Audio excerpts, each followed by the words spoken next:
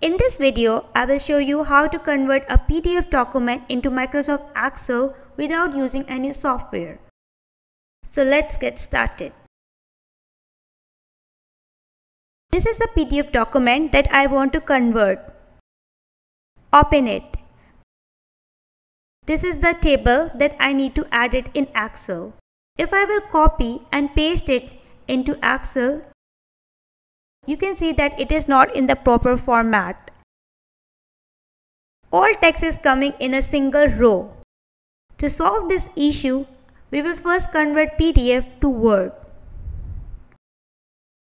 Open Word document.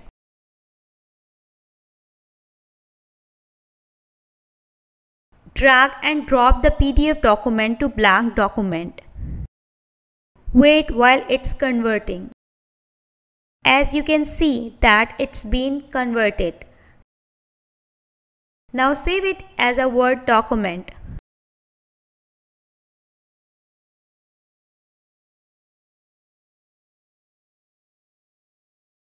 Open this document.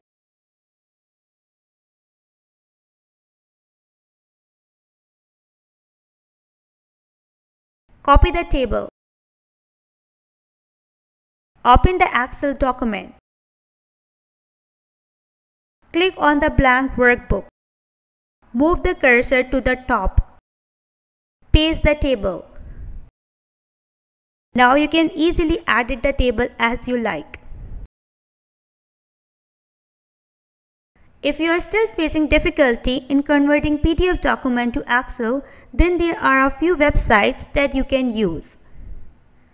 The first website is www.smallpdf.com. This is a very good website to convert PDF to Excel. Click on Choose File. Select the PDF document. Click on Convert to Excel.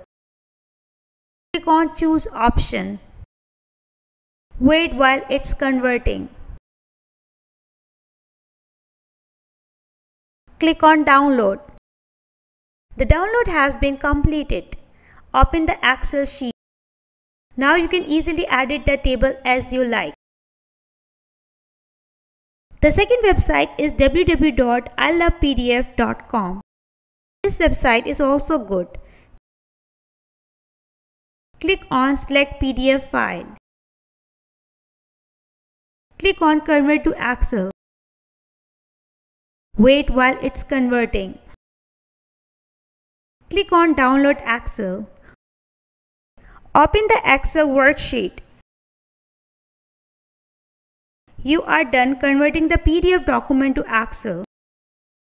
I hope this video will be helpful for you. Thanks for watching.